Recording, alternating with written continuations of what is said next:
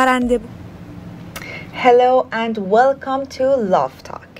Today's topic is about magical myth and romantic love. My name is Neela and you're watching a special special Valentine shows with, with Mr. Gregory Morgan. You can call the show and ask your questions about the topic uh, on the line 818-532-6655. And now allow me to introduce the owner of the show. Master of Neuro Linguistic Programming, Certified Master Hypnotherapist, Owner and Chief Operations Officer of Embrace Growth, Mr. Gregory Morgan. Hello to you and happy Welcome. Valentine in advance. Thank you very much. Happy Valentine's to you too. You. We have our little heart here today. To, I, I like it because it's this huge heart trying to pass through a small portal. yeah. You know, I think it's a great uh, topic for our show today. So our t- show is going to be about Valentine's Day and the magical myth of romantic love, but it's more than just romantic love. So that's the big topic. Go ahead and put that thing. I want to read again uh, what the uh, show is. At the heart of humanity lies an ancient myth. A myth is a likely story. It's an extraordinary legend of true love, forbidden passions, and heartbreaks. And it's woven into the very fabric of our lives. Now, there's a beautiful part about a myth, and that is that it exposes some of the greater ideas, the more elevated ideas, beliefs, and truths that are hidden in the deeper levels of human awareness. Their influence on our daily lives is profound because they form a sort of subconscious background, a background against which we view our world. So that's the topic that we're going to address today. Uh, we have all grown up with stories that began uh, way back in the early Persian uh, uh, Empire uh, about uh, forbidden love, stories of forbidden love, the betrayed king, right? The, uh, the these stories evolved and the characters' names changed throughout the centuries because history, the word his story, is what it means. It's a story. And it's his story because why? Because mostly men did the traveling and the storytelling. Okay? And so troubadours, songs, poets would uh, speak of this elevated feeling called romantic love, and it was it became the view that in light of this overpowering feeling, thus we say, I fell in love. Right? We say I fell in love. We don't say I found someone and I grew love until it just took over my whole life. We say I fell in love. Like, honey, I was on my way home and I tripped and fell in love. Yeah. Right? Um, so now, you know, the whole deal's off. No, it's it's not an accident. Although uh, that's it, that's a hormonal urge, I mean, we can understand that, right? If it looks right, smells right, acts right, talks right, I love it, right? It- but that goes away. That goes away eventually. So the idea of, uh, and this began with Iseult and Tristan, this, the, the romantic Arthurian, uh, in the Arthurian era of knights and kings and queens. This story became famous throughout the Western civilization of uh, Tristan and Iseult. Now we know that it's an update, adaptation of thousands of year old stories, but uh, like I said, the characters change and the uh, names change and the story changed and evolved, but they always have the same elements. That story is about uh, the great knight Tristan and his uncle, who was King Mark, and the uncle's queen, who was uh. And there was a love triangle, and eventually Tristan and Iseult escape. They betray their loyalty, they betray their honor, they betray their reasoning, because pretty much means death. Uh, and they betray everything that they have always formally said that they lived for, for this overpowering feeling of romantic love. Now, why do I tell you that? Because this began the um, acceptance, if you will, of the idea of passion over reason, lot of uh, feelings over logic. This has become so prevalent that today, if you just fast forward to today, you can quickly see the effects of it, where the feelings have overcome our logical thinking. You know, marriages used to be arranged, they were arranged for logical reasons. Uh, reasons that would cause others to prosper. Now, I'm certainly glad that that's not the case anymore. Don't get me wrong, I'm not promoting that at all. Uh, but it began as an institution that had good reasons for being. Reasons that caused nations to uh, stop fighting wars, reasons that caused uh, the economy to increase, and so forth.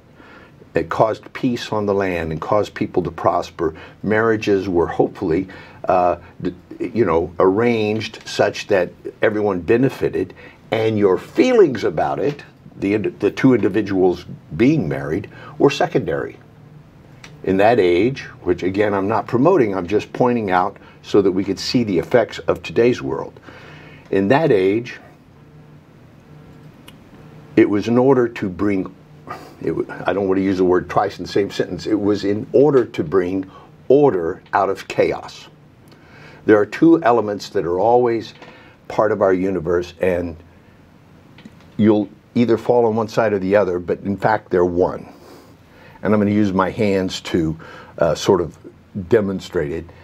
We think of yin and yang, we think of the feminine, which it would be expressed in many symbols like this, and yang, which would be expressed upward, an upward thing, a phallus. So yin and yang have always been present in our lives. I'll say it another way order and chaos. Order and chaos. Logic, feelings. So these two elements are always either fighting or being married together. So in you know meditation, Zen, Taoism, the things that I've studied and practiced and lived by, uh, it is the marriage of order and chaos that makes a human being whole, that makes a human being complete. We become a thriving, powerful, and uh, loving and compassionate human being when we can bring order to the chaos in our hearts and our lives, and uh, and know when to cause chaos. There, you know, too much order, too much logic, too much reasoning is not only boring. it's stifling. It kills off the human spirit. It kills off the creativity, the the imaginative beauty of uh, the feminine nature, which is in both men and women, of course. When I say masculine and feminine, I'm not being sexist. I'm not saying men and women. I'm using those words to, to express the masculine energy, which tends towards logic, reasoning, and order. Obviously, chaos in there. And the feminine spirit, which tends towards and leans towards feeling, passion, nurturing, and also chaos, right?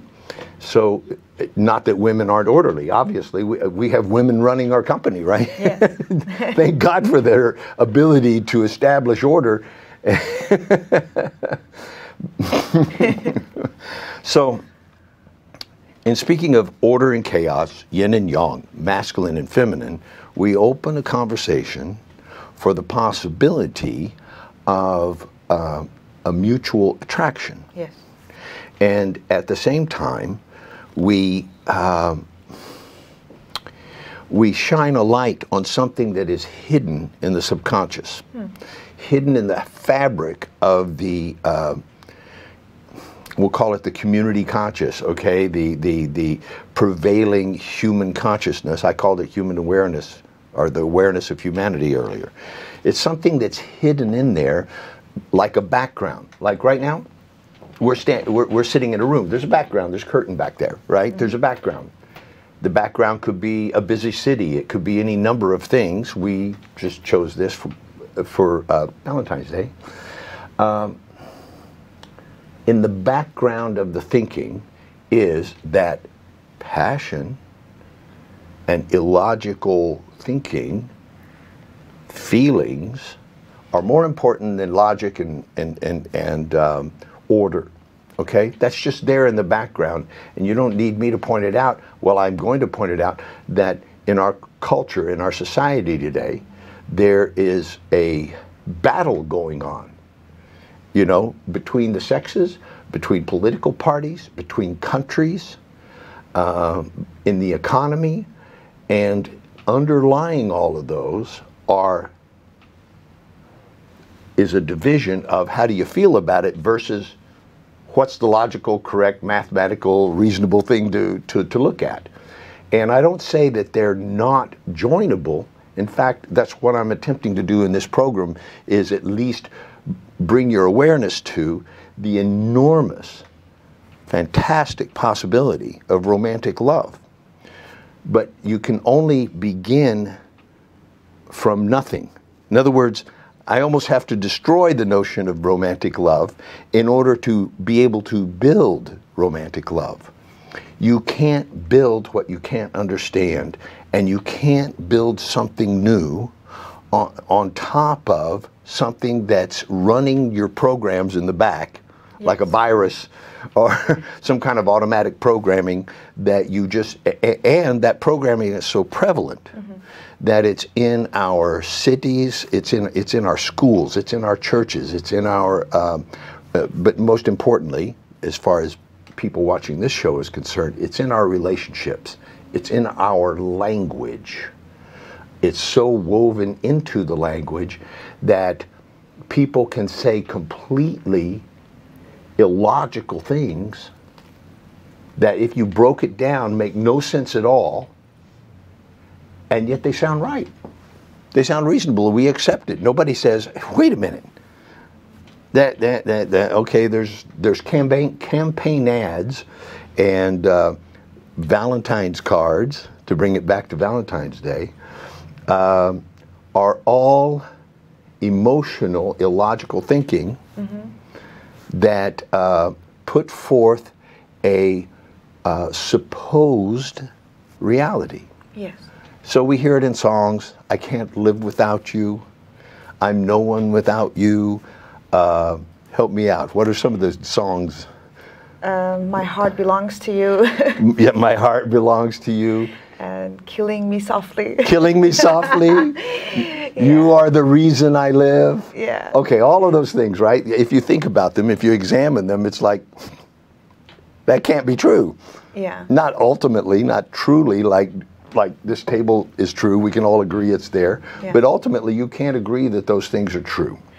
Um, Mr. Morgan, yeah. I was thinking that to like tear down the belief that we have about love, can I give you one example of a, of something that I, I was going through, and I now that I'm standing here, I know it was not it was not like um, like love built on logic.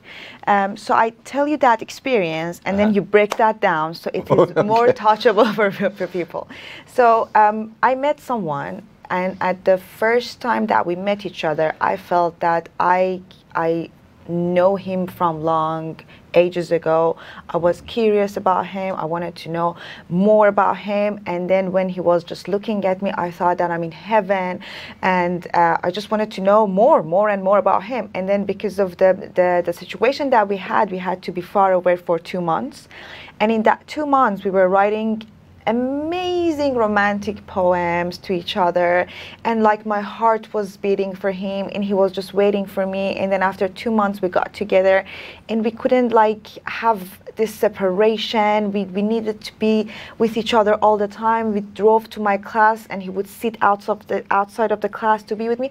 And we were like very into each other and thinking that is love. And then after two months things like things changed.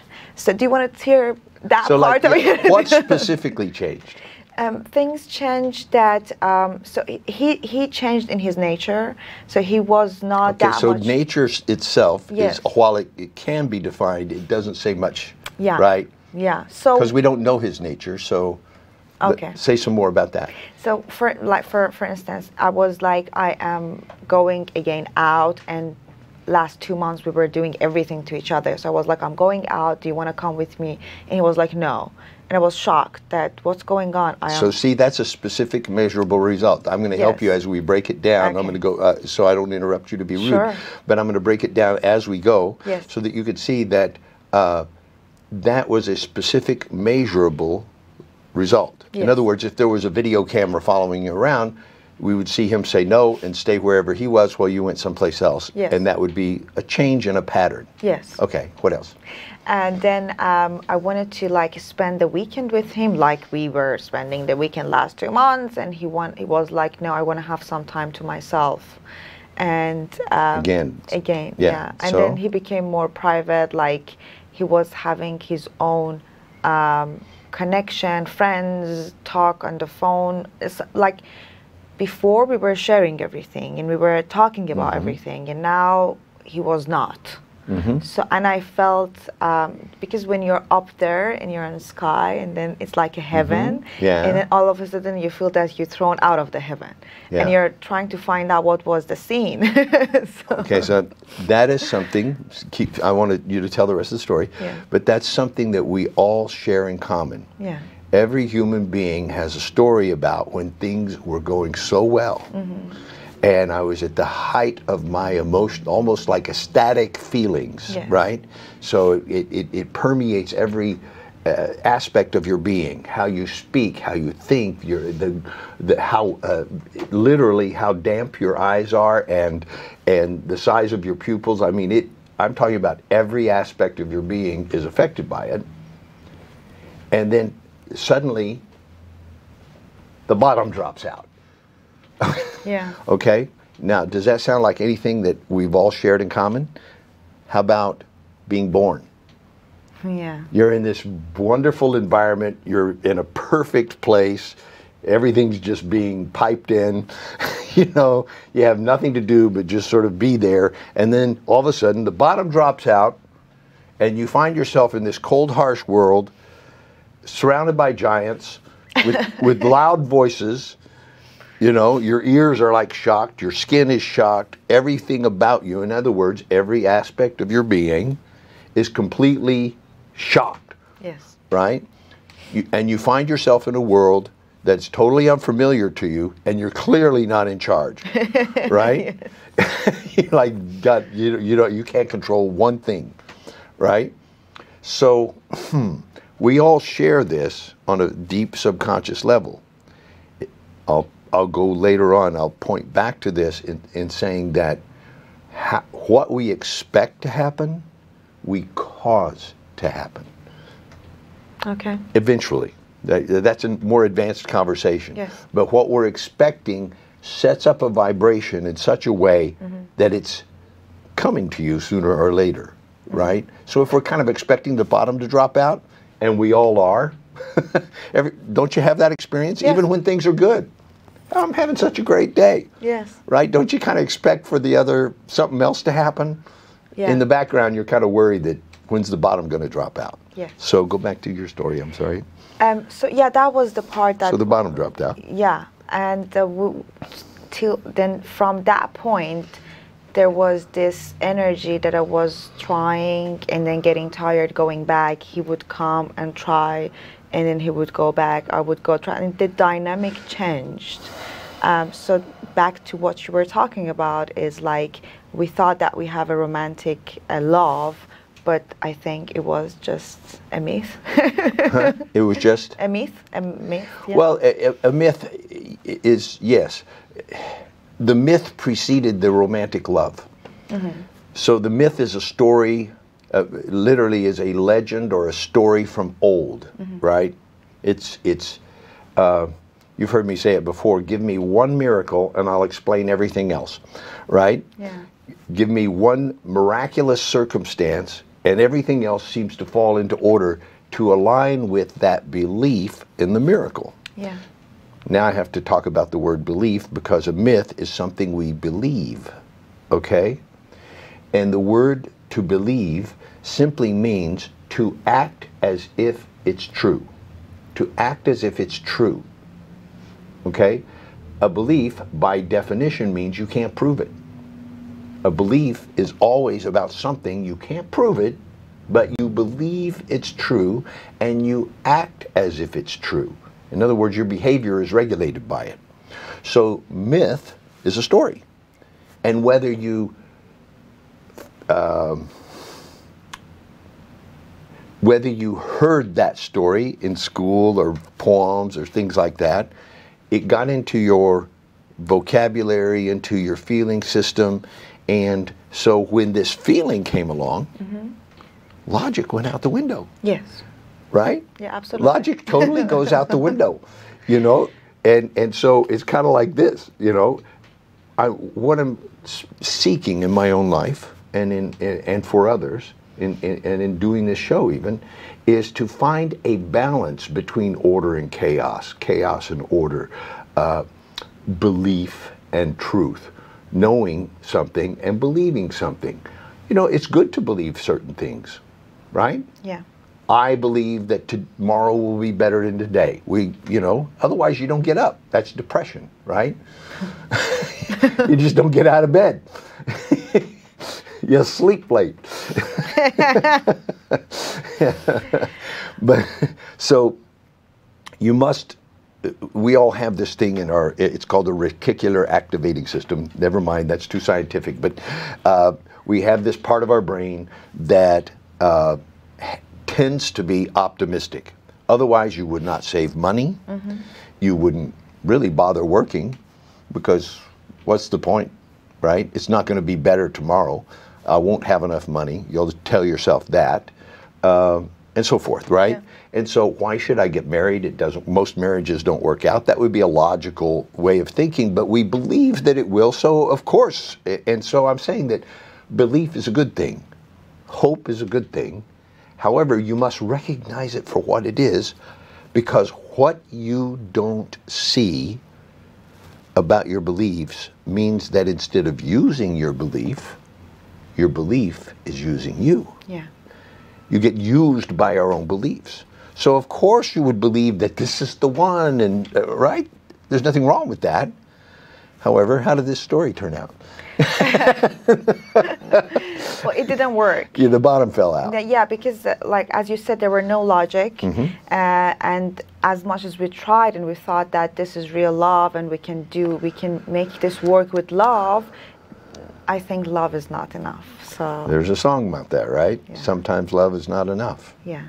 Yeah. Sometimes love is love helps, but then when there's no logic, right. it can't. Yeah. Yeah. Sometimes love is not enough, and and I know that there's lots of other songs. Yes. All you need is love, right? Yeah. There's lots of songs about how love is all you need, mm-hmm. right? There's even, you know, I think there's even a quote by Einstein, the most logical guy, mm-hmm. right? who said something about uh, with love you don't you know hmm, with, without love you need force or something like that. Mm-hmm. I, am not going to quote something I can't remember quite uh, quite right, but uh, um, so back to this. Yes. Um, neither love nor uh, logic was a, able to overcome that particular circumstance. Yes. Neither love nor logic. Yes. So now I'm going to vote for order rather than chaos in this particular circumstance. With logic, logic is a sacrificial system. With logic, you autom- you you're you're saying I give I give up my right to entertain my feelings as being more important than logic. Mm-hmm. So I do what I know is necessary, is logical, in other words, in order to achieve my goal or my outcome, right? Mm-hmm. Now, sometimes in denying our feelings and, or, or, withholding our feelings or controlling our feelings in order to pursue an outcome, sometimes the feeling goes away. Mm-hmm. Well, guess what? That's part of the deal too. Yeah. And I know that's the bad news, right? People so don't want to let go of the feeling that they will allow themselves to be mm, dragged down into something that they know they all they had to do was let go and, and, and they would have been okay, but they drowned uh, in their feelings. So thank you for sharing that very personal story. Of Is there anything else about that that you want Well, to that we have share? a, we have a question from one of your top fans that they're saying, Mr. Morgan, please get personal and talk about your experience about love and myth, Okay, great. please. Yeah. Take the attention off of you. Um, well, your fans say. Okay, I can do that. I can do that. Um, and the truth of the matter is that uh, I have been married a couple of times before I ever married my wife. And in each of those cases, I was uh, guided by my feelings. And sometimes I was guided by her feelings, you know, by the woman's feelings, like she loves me so much that how could I not marry her, kind of thing. Uh, so, uh, and and at the time, in my immature thinking, I uh, thought, well, this is the right thing to do, and this is a good deal. But what I didn't logically recognize was that in somewhere in the back of my mind was the thought, and I chose feelings over thought. To, uh, but there was a hidden thought that, well, if this doesn't work out, we can always get a divorce. That was a conversation in the back of my head, and it's in the back of a lot of people's heads. They get married thinking about the divorce already, yeah. right? Yeah. So the divorce is an option, and they go ahead and get married based on, well, I always have this back door, right? So I did that a couple of times, all right? Got married thinking, well, if it doesn't work out, we'll get a divorce. And guess what? We did. So when, when I met my wife, Dr. Aziza Sayan, I had decided I'm never going to get married again. And then I met her, and I'm like, I can't, I can't not spend my life with her. So I had all the feelings. I'm like, I've been there before, right? Yeah. I've been there before, and I'm not going down that track again. So uh, even though we met, we clearly had powerful feelings for each other. Uh, we stayed apart for about six months in the beginning, mainly because every time I would, anyhow, try to express my feelings for her by asking her to marry me or something like that, she'd say, No, you're not ready, or uh, I'm not ready, or whatever, right? Or you just got divorced, so no, and so forth. So she was being logical, even though she had the feelings, and I was being, I, I knew she was right also. Logically, I knew she was right. However, I had these feelings. And one of the feelings was being very attractive and having a lot of men attracted to her. I thought, some guy richer, younger, smarter, that's not recently divorced is going to come along and marry that girl, right? So that was part of my logic too. It was part of my motivation to get my life in order and to sort myself out. And after about six months, I came back to her and I said, I just, here's the deal. It's not that I don't want to get married. I like being married.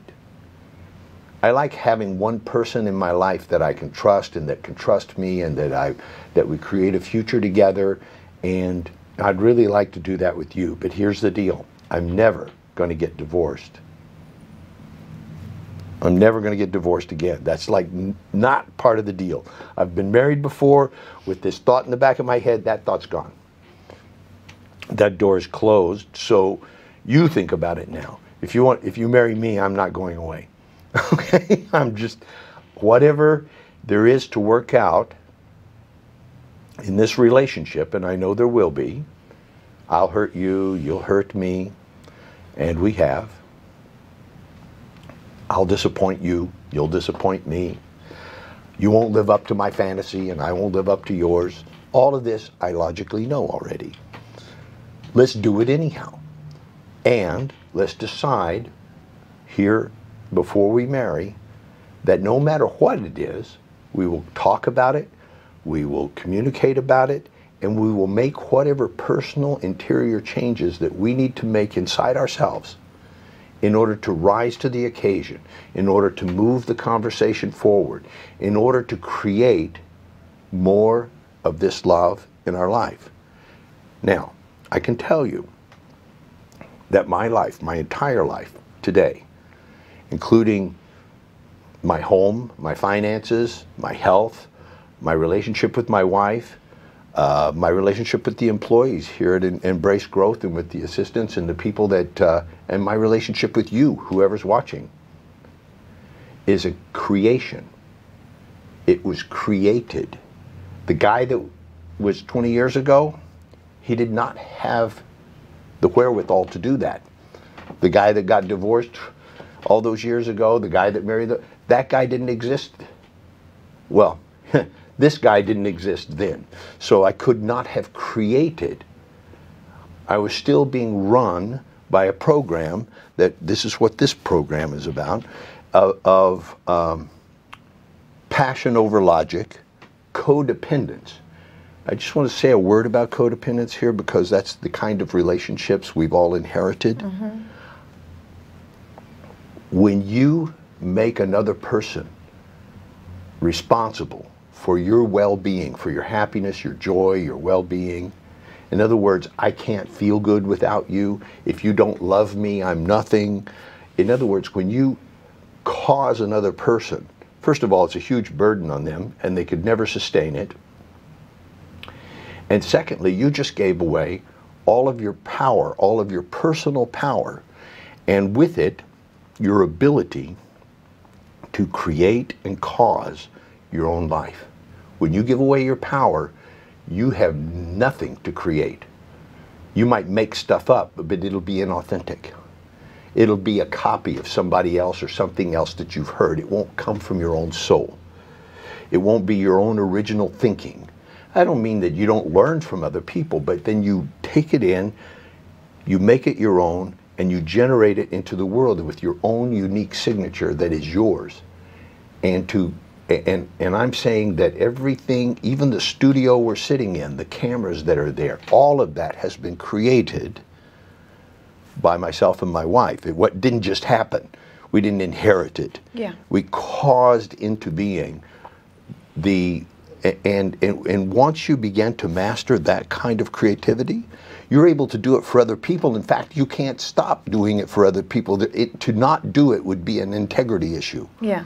To stop giving and sharing that kind of well being, it becomes the source of your life. And if you didn't do it, if you, you would be betraying yourself. Absolutely. Yeah. yeah. You'd be betraying yourself. So uh, that's all I want to say about co- codependent relationship for the moment. Yeah. So to be clear for the audience, w- would you please tell us in this relationship that you explained what was the romantic love and what was the myth? Uh, can you like tell us? Okay. Yeah. Um, luckily, I had coaches also yeah. back in those days, and so uh, uh I belong. I, am part of a, a, a men's team, us six guys, mm-hmm. and we've been uh, meeting for uh, almost uh, 26 years now. Wow. Okay. And we meet every two weeks, and now we all live in different places. A couple of us live here in LA, and but we meet on the phone, and we, uh, you know, we're growing old together, supporting each other uh, through uh, life and death, and marriages and births, and you know, all that stuff. And uh, they were around when I met Azita, and when, they were around when I got the divorce. Yeah. And luckily, I had uh, coaches at that time or people around me that cared about me. And uh, so they said, We're not going to let you get married until we say you're ready. Okay? Because you are out of your mind. You're in love with this girl, and you're just going to do whatever it takes to be with her, and then, you know, you're going to screw it up. Those weren't exactly the words they said, but something like that. you're just going to mess it up, and then we're going to have to listen to you for the next five years about her, right? So, no. So that was, you know, masculine logic, you know, like imposing itself on me. And, you know, luckily there was enough of them that I couldn't not listen. And, uh, you know, and if I said, you know, the heck with you guys, I'm going to do it anyway, I would have betrayed my own self. Yes. I would have betrayed my own loyalty, my own uh, honor. Uh, we live by a code of honor with these men, and we never give up on each other. That's part of our code of honor, right? And we never betray the men th- of this team for anything, for other women or for women or, or, or anything else. And our highest priority is our families. So don't get me wrong, it's not our highest priorities or each other. That could happen, but that's not the case here. Our highest priorities are to have successful, happy families and to cause masculine leadership into the world in such a way that the world benefits from it. And we're all doing that in our, in our own way. And so I had those guys. And uh, uh, you asked me what was the romantic part and what was the thing. Yes, so yeah. the romantic part was this overwhelming feeling of knowing she was the one. So somewhere in my soul, I recognized her, and I and she and this and it was mutual. We were like you, right? It was very mutual, powerful, and we couldn't even if we were anywhere near each other. With there was this buzz of energy that uh, that was unmistakable. Okay, and I've I've I've trained in synthesizing myself to uh, what we could call your auric field, my my field of energy around me, and I've done that through martial arts and dance and a number of meditation and a number of things the disciplines throughout my life, so that I can actually feel what's going on with other people. And so it was like, mm. in in Star Wars they'd call it a disturbance in the force. Okay, so I had there was a disturbance in the force when she was around, and uh, that was the other part of the romantic part of it. And uh, well, besides which, have you seen her? She's beautiful. You Yeah. know, I mean. so there was that. And the myth part was? Uh, the myth part was that if we just do everything that, w- if we just do whatever it takes, it'll work. Okay. You know, it was kind of like a little bit of logic and a whole lot of feelings, like hope and belief, like, you know, and, and it was belief against evidence. Yes. Okay, so that's that's that's part of a belief system, right? Is even though there's evidence to the contrary, you still hold your belief, right? Yes. People do this with religions. They do it with political systems. They do it with health systems. They do it with uh, all kinds of stuff, cures of all kinds of things, and they particularly do it. And where it's the most damaging is in romantic relationships. They believe it should all work out because I love them so much, right? So it sounds familiar to everyone. We've all yes. done that. Yeah. So uh, when you were at that state, um, coaches and your men friend helped you um, get logical Yeah. to be able to make this work. Yeah, one of my coaches, I he said, "How do you know you love her?" And I said, "Man, when I'm around her, I got all you know." I described the the physical sensations and everything, and he was like, "Uh,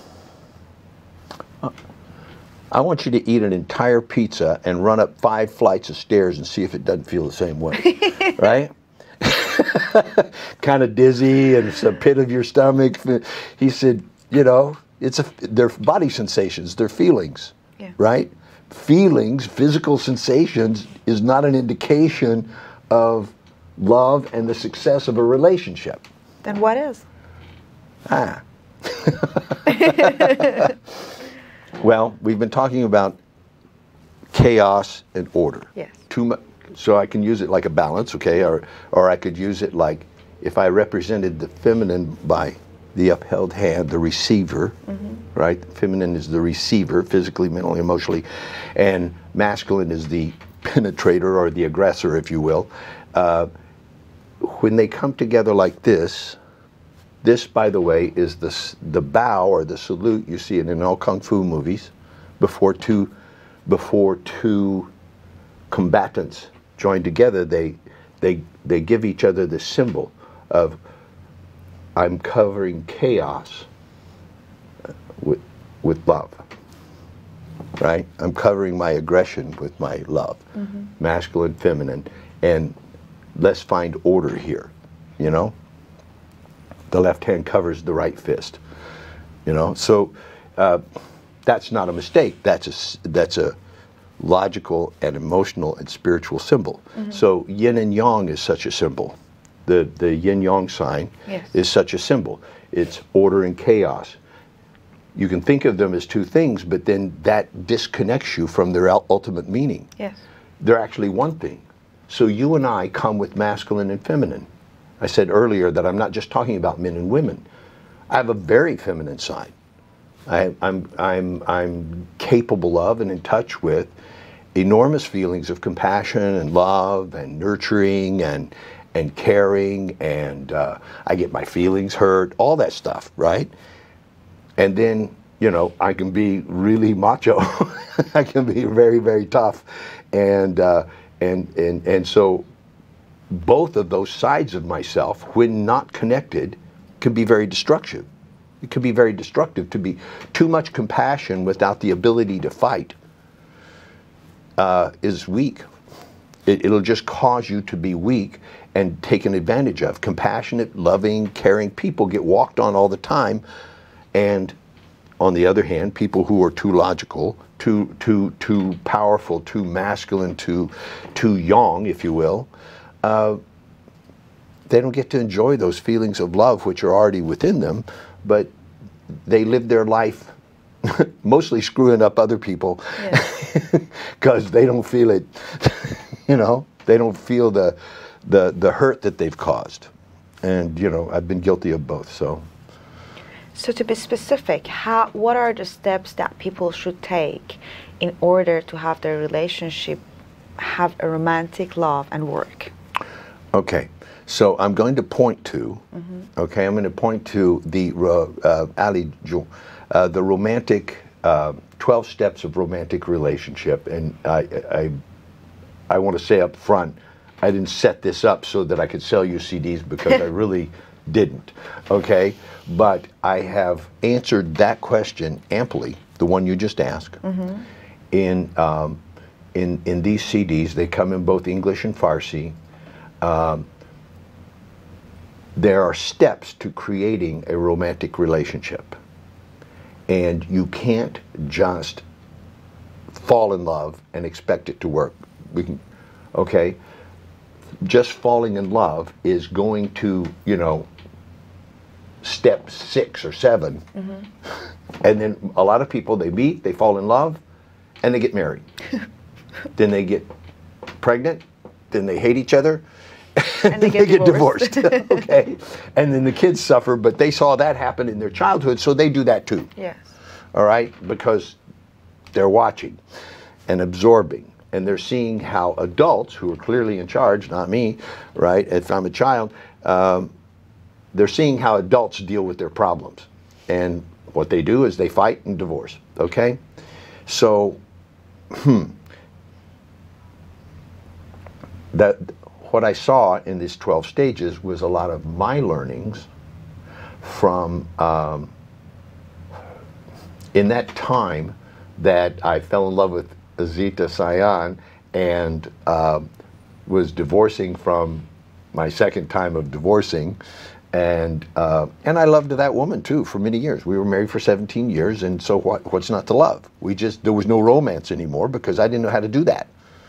You know, we had come become roommates, and I'm like, I'm too young to have a roommate, and too old to have a roommate, and too young to not have any love in my life.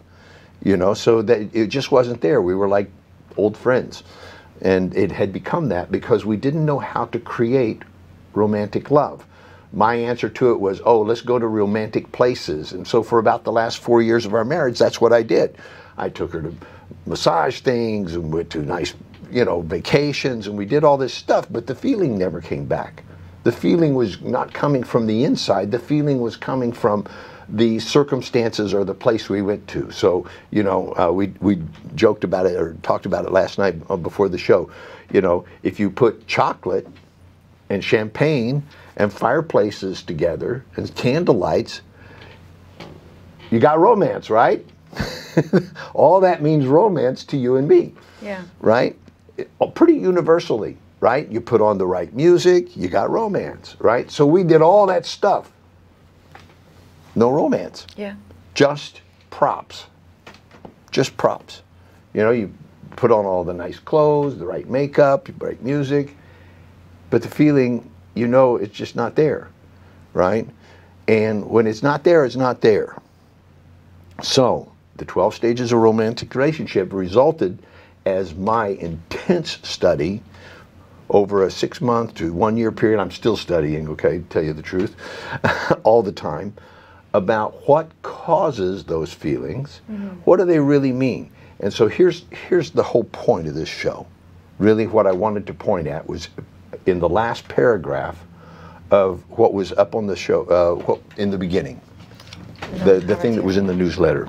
The last paragraph of that is I said that the the uh, great thing about myths The beauty of a myth is that it exposes some of the greater ideas, beliefs, and truths hidden in the deeper levels of human awareness. the greater what is greater ideas? Greater ideas, beliefs, and truth hidden in the deeper level of human awareness. greater ideas beliefs and truths. Okay? So i believe and i not just I- so to believe it means i act as if it's true right? In my life. So i believe and act and live my life by um, that we all have like a memory or um, really a direct knowledge or feeling of a divine beauty, love, goodness, and truth that exists within us. I believe this and live my life by it because it's true for me. And if it's true for me, it must be true for you. I don't think I, I, I do believe that there may be people who are sociopathic and who have a, a mental imbalance or malfunction that may not be able to get in touch with that. Doesn't mean it's not there, they just have no access to it.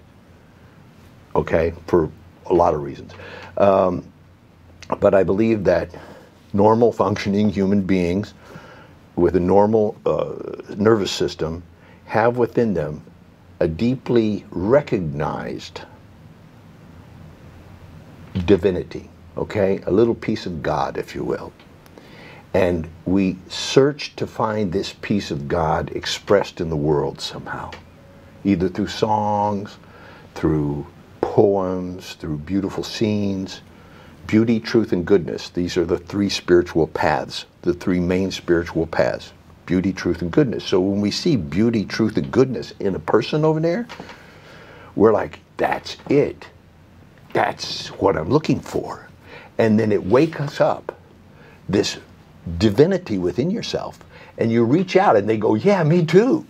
Right? And so this divinity connects with itself, found in another. Then our little minds, our little conscious minds go, oh, we should get married and have children. right? This is what we do. So,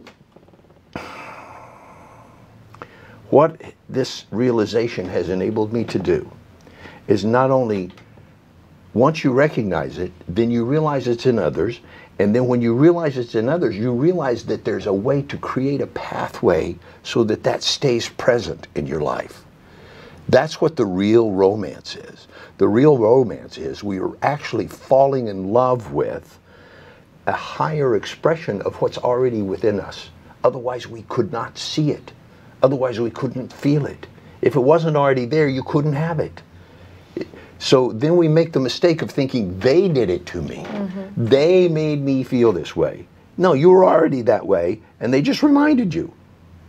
Right? They reminded you. And of course, that starts all the stimulation of hormones and everything, and you want to have sex and have babies and do all that stuff. That's all part of a survival mechanism for human beings so that we like procreate and have kids and keep them alive. That's, that's the logical part. That's really just biological machinery. But the spiritual part, the emotional part, is a recognition of a divinity within yourself that you see in another because they're manifesting it somehow. And so naturally you go towards that. Now, what that enables one to do, aside from creating their own romantic relationship with somebody it logically would work out with, mm-hmm. right? You could, you know, it's totally illogical that Azita and I would be, you know, I'm from Oklahoma. I totally got a totally different background. She's from Tehran, you know. It's like totally different from each other in so many ways, you know. So anyhow, without dwelling on that, so even if it doesn't seem logical, if you're powerful enough logically and grounded in your logic, you can make things work. Hmm. This relationship that you couldn't make work, y'all could have made that work, but you have to be willing to do things yeah. that sacrifice things that you may not be willing to sacrifice. Yeah. You know?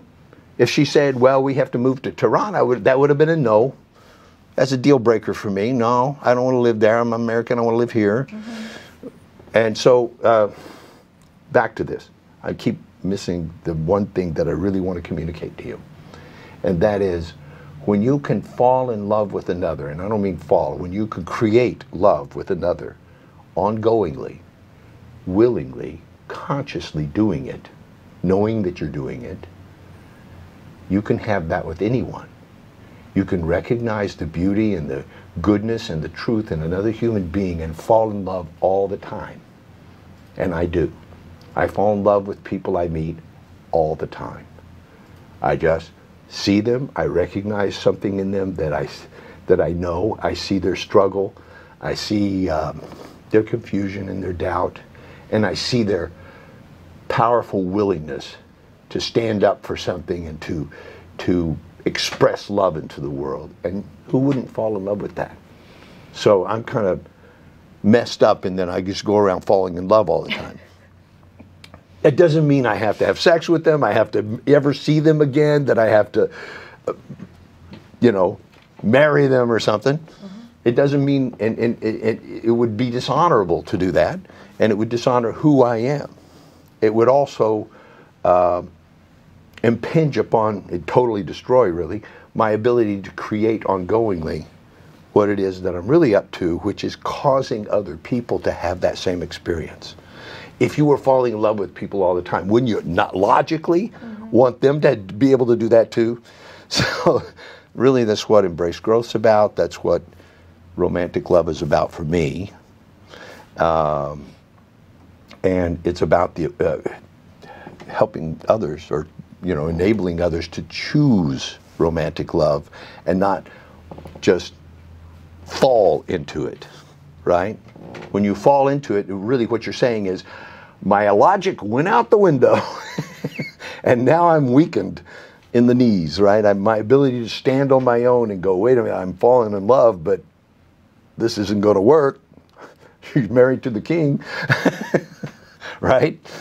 You're, that that goes out the window. So creating romantic love. See, if Tristan and Iseult had uh, had these tools, she could have made her love for her king be true, and he could have gone found somebody his own age, you know, that would fall in love with the knight. All right, so uh, I think we're at the end of the show. What do you think? Yes, thank you so much, Mr. Morgan, for amazing description of love and myth and the difference between them. Um, so people are just asking for more shows uh, with uh, subtitle, Farsi subtitle as well. So thank you everyone for listening to the show. The English speakers and Farsi speakers, we are going to have more shows with Mr. Morgan. Yeah, I'm just going to make him promise right now in front I'm of the camera. I'm promising to do more shows, and I don't want to just keep it uh, like that. I'll at least do one show a month in the beginning, and then I'll turn it into two weeks and then weekly. Yes. If, if there is a demand for it, okay? If enough people are following and responding and, get, and benefiting from it, because that's the only reason I do it. I don't have to do this. I do it because I love you. Oh, thank you, you know? so much. Uh, you can call our office and book a session with Mr. Morgan. Just call 310-460-2600 and book your session with Mr. Gregory Morgan or go on uh, Embrace Growth application or website and purchase his CDs. Um, okay, here's end of the show. We're going to be back with another amazing show soon next month. Thank you. All right. And thank you, Neela, for showing up looking beautiful today and being an expression of beauty and love and truth. Of course. Thank Always. you. Okay. Yeah. Bye-bye. برنده بودن هنری است که یادگیری آن تمامی زندگی ما را تحت شعا قرار می دهد و زندگی عادی را به خارق‌العاده تبدیل می کند.